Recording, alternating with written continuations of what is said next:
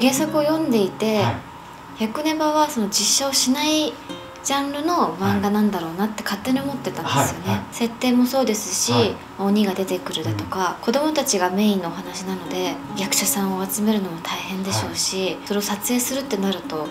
なかなか難しいものが多いんじゃないかなと思って、完全に油断していたので、本当に映画化するって聞いた時はできるんだっていうのと日本でどうやって描くんだろうなっていうのは、うんすごく疑問として何個も浮かびました。実写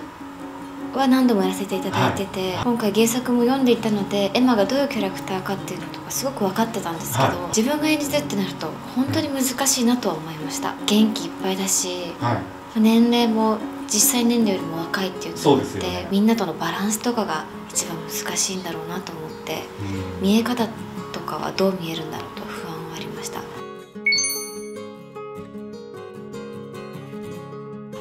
ーん。言葉に説得力があるところです。言葉にせエマははい。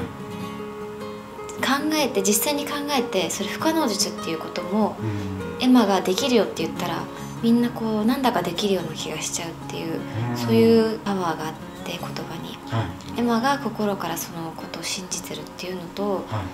もともと持って生まれた素質なのかなと思って。なんかそういう言葉の言い方ができる人は人として素敵だなと思います。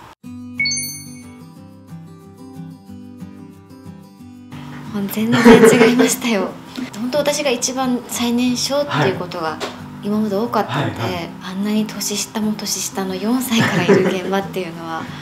4歳の子と一緒になることないですからね。幼少期の子とかは、はい。本当に会わないことが多いですし、はい。はい。その子たちと一日一緒に撮影するっていうのはなんか心配でしたね。体調大丈夫かなとかもありますし逆にあこんなこともできるんだって感心しちゃうことも多かったし毎日とこういろんなことが起きて退屈はしないですし新鮮な毎日でした、私は北川さんとは重たいシーン以外はそこまで多くなかったんですよ、はたまにご一緒する時は子供たちが多くて「大丈夫?」とか結構私の体調を逆に心配してくださってはいはい。それがこの現場では子供たちの心配をしなきゃいけない立場だったのでありがたかったですねとっても。北川さんもテンションが上がって落ち着きなくなっちゃってる子供さんをここっちだよってこう引っ張ってくださったりとかこうやって指導すると言うこと聞いてくれるんだなとか圧倒的なこうお母さん感は確かにありましたね私には「えー、なんで?」とか言いますけど、はいまあ、4歳ぐらいの子だと特に、はい北川さんにはなんか「うん」みたいなすごい従順でしたねやっぱりみんな。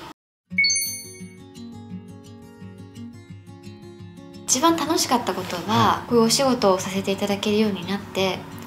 上京して一人暮らしを始めて、はい。好きな自分の生活のリズムでお仕事できるようになったうん瞬間とかそれからがすごく楽しかったです、はい。行き来するはい。移動時間とはい。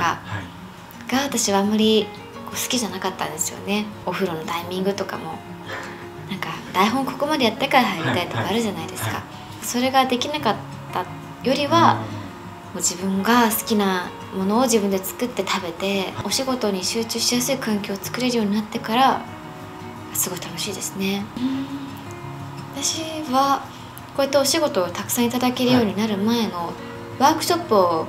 同期のみんなとずっとやってる期間がはい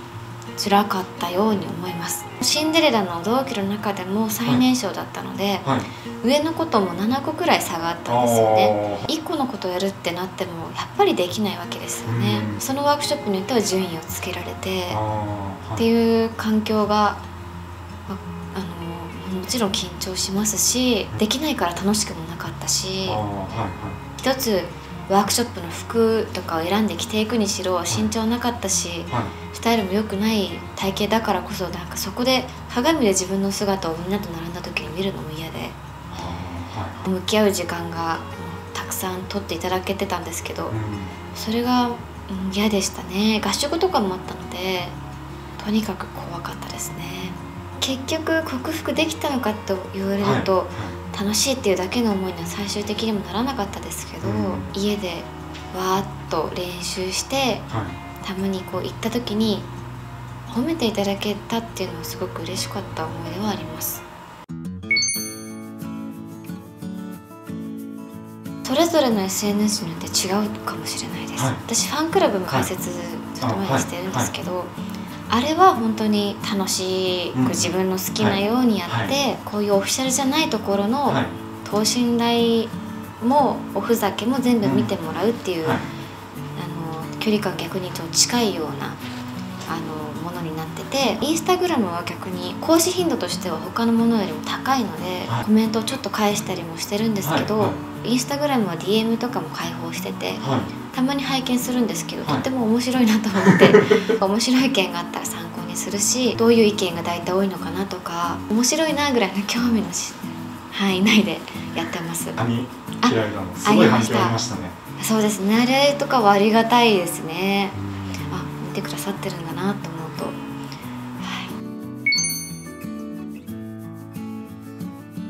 私自身も漫画が好きだったりとか、はいえこれ実写化するの？っはい。て思っちゃうことは本当にあるので、はなんでこれがこの人なの、とかはい。これ実写化するべきじゃないでしょって思う言葉はは本当に当たり前だと思っていいて、そう思うのが仕方ないってはい。思ってるのでこれ言われたからってショックはもちろん受けないですし、もちろん怒りもうん。全く浮かばないですし、ん。まあそうだよねとしか思いません、うん。生っぽさとかはやっぱり実写はどの作品もあるかなと思います、アニメでやってるからこそそのまあちょっとライトな部分とか世界観が可愛らしい部分がちょっとあると思うんですけど、はい。実写した時にリアルに汚く描かれてるところは多分まあ残酷に描いているので、はい。泥臭さとかっていうのはあるので自分たちだったらどうだろうっていう方向には共感して見ていただきやすいのかなとも思ってます本当にもともとお話が面白い作品なので、はい。はい実写してもお話の面白さは変わらないと思いますし、はい。実写なりに追加したシーンとかも一応あったりもするので、漫画原作が好きな方でもまたちょっと新しい面白さを発見していただけるんじゃないかなと思います